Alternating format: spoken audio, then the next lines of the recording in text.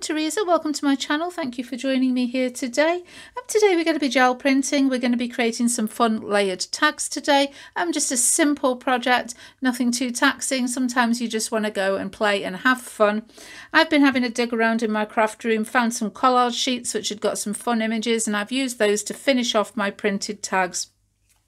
This is just a quick run through of what we're making today. And as I say, nothing too strenuous, no real sort of specialist um, equipment needed today. So I'm going to move these out of the way and I'll be right back to show you how it's done.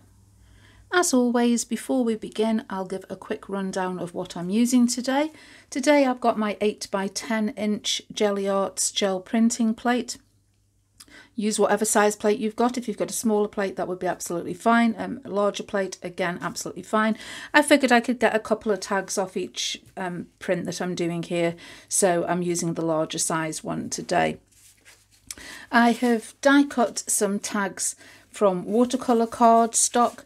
This is not overly heavy, it's about 200 GSM, but I'm going to be backing it with either some scrapbooking paper or some cardstock um, just to stiffen it up and tidy the back. Um, it's got a very slight texture to it. I, I fancied using something a little different today from the smooth card that I usually do. So I've just die cut these using my Sizzix die. Um, this is one of the Tim Holtz alterations. It's called Tag and Book Plates and has a couple of frames and this tag on. Not entirely sure whether these are still available. These seem to come and go. I know Sizzix do um, still do a set of nesting tags, which does have one that is the same size as this. And just for your information, these are about three inches by six inches. Um, but you can use like pre-done tags if you've got some manila parcel tags, luggage tags, use those, or just cut them freehand. It's, you know, at the end of the day, it's a rectangle with a couple of corners off and a hole in the top. I've got my brayer, this one today, the Speedball brayer, the rubber brayer. It really makes little difference whether I use this one or one of the Ranger red rubber ones. Um, just This is the one that I grabbed first, so I'm using that. I'm using the Arteza acrylic colours again today. Just fancied uh, working with those. And I know when I did the bookmarks, I used a red, yellow and blue. I quite like that, so I'm, I'm continuing. I've chosen a red, a yellow, a blue, a green and white. And if you're using these for your information, this is cochineal red, lemon yellow, cobalt blue, emerald green and titanium white. They're all fairly cool toned um, colours today, so they should blend quite well. They should layer up nicely. I have um, paper towel and some spray water just to clean up and a few things for mark making. Haven't gone to any great expense. I've got my trusty um, kitchen roll with some string wrapped around. This makes for some nice interesting wavy lines. I've used that in um, videos before. I've got these couple of plastic trays here. These had glue sticks in, in, in a box like the um, you know, like your, your glue stick type thing. They, they were fitted on those. So they're good for making circles or for making uh, sort of the, the, the negative space around the circles. Some sequin waste, um, basically to use as a stencil. If you've got stencils, use them. That's absolutely fine. I've got this round piece of foam rubber, which is nice just to stamp in sort of circle designs. And I've got a couple of foam stamps. This one here is um, a leaf design, and this is one of the art foamies from Art by Marlene. And these two here, I think were Claudine Hellmuth um, little foam stamps, just like them, just for just added little bits of detail. Again, use whatever you've got, use what you fancy. Um, you know, if you've got stencils and stamps and things like that, other mark making tools that you want to use, go ahead and use those. If you've made your own foam stamps, use those. We're just going to have a little bit of fun creating some just nice layered tags and then I'll finish them off maybe with a bit of stamping or collage on top um, just to give you a couple of suggestions of how to finish them off when, when we finish the printing. So to begin with, I'm going to put some colours of paint onto my plate. It's not that clean today. I've um, got some little bits left over, but I don't mind. They'll come off eventually and they just add to the uh, interest, a few little spots and speckles. Never did any harm to a, a gel print.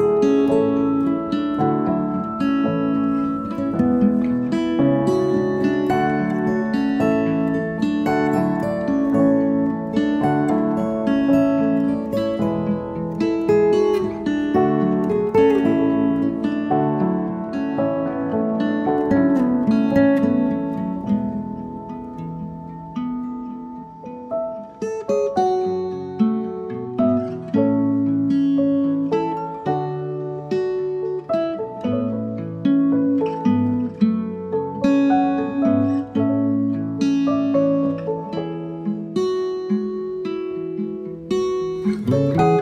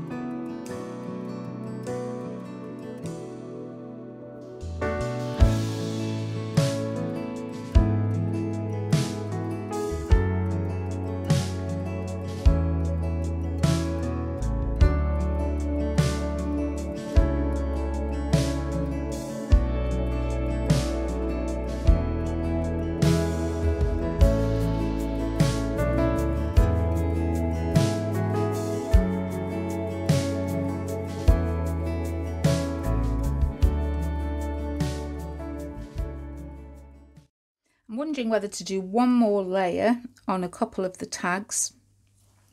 I, although I really do like these nice bold dots on here, I kind of fancy um, that leaf shape over the top. So I'm going to clean my plate off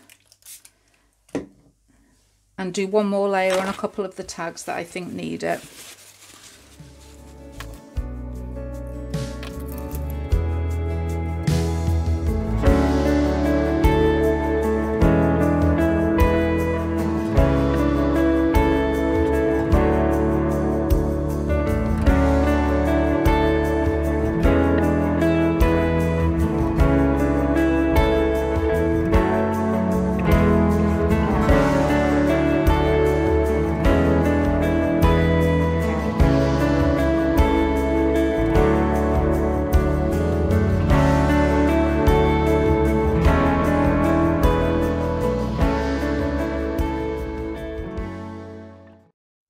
Think I'm going to call that a day. I'm going to clean this up and I'll show you the prints that I've got um, and then I'll go on and embellish a few of them and show you the finished items. Now my tags are dry. Um, I've backed them all with some scrapbooking paper. I think there's three of them have got this black text um, design and three of them have got this white, um, again it's a text design but with circles I just wanted something to tidy up the backs and just to give them a little bit more body and um, just stiffen them up a little bit. The only other thing that I've done is I've gone around the edge with some um, black archival ink, just used a blending tool just to add a little bit around the edge. Um, front and back and it just kind of finishes it off I think just frames it a little and helps disguise any uneven edges I'm really pleased with them, although I do kind of regret going over this one here. I'd found the white quite stark and decided to add this leaf design, but I lost that red and orange by putting another layer on. But, you know, th that's the thing with gel printing. The more layers you add, it's always a bit of a surprise what you're going to get. And at the end of the day, I, I mean, I, there is a nice variation and none of them are, are what I would call a disaster. They're all perfectly usable. So I'll just flip through what we've got here, the six designs that I've got. And I do like the fact that you can see these various layers peeping through, showing through. And a nice variation of colours. So I'm going to finish these tags off by adding some elements to, probably just collaged elements to them, maybe some stamping, not entirely sure, um, just to give you some ideas of what you can do. And I shall be back in a moment to show you. And here are my completed tags. Um, as I said earlier, I've just decided to add some collaged images and some word stickers, um, keeping it nice and simple.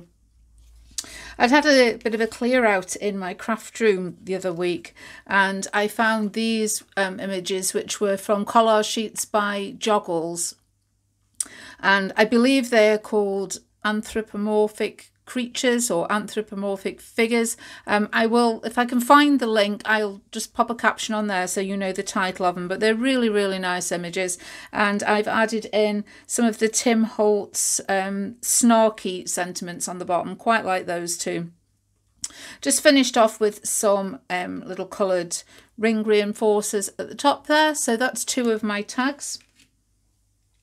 Then I'd got some images which were by Vera Lane Studio. Uh, she does a lot of digistamps, collage sheets. Um, these are collage sheets and pre-coloured um, digi stamps, so super easy. These I'd printed off and I'd printed them onto sticker paper so that I could just stick, cut them out and stick them down. And again, added some stickers, some of the Idea-ology um, small talk stickers and clippings stickers there. Just thought they would make nice tags. And then finally, these two have images by James Luke Burke. Um, I take several of his online classes. Um, this was from the Virtual Voyage 2, which was Tim Burton themed. And there were collage sheets as part of that package, and these images were from there. I've also added some stamping in the background um, just to add a little extra detail. No sentiment needed on that one. It's a nice big image, so I've left it as it is. And this again is one of the snarky stickers from Tim Holtz um, in the large size. So just um, matted that onto some black card and stuck it in. So hope that's just given you a few ideas. These could now go in a journal. They could just be sent to friends, used as a bookmark, um, added to the front of a card. I like working on tags. They're a nice size um, and ideal for gel printing. So as always, hope you enjoyed the video. Hope it's given you plenty of inspiration for using your gel plate. Please leave me a thumbs up. Don't forget to subscribe and hit that notification bell. I had a, um, a couple of people who hadn't been receiving notifications. Um, so double check that you are getting the alerts when I post a video each Saturday. I would hate for you to miss out on all the fun. But for now, that's all. Bye.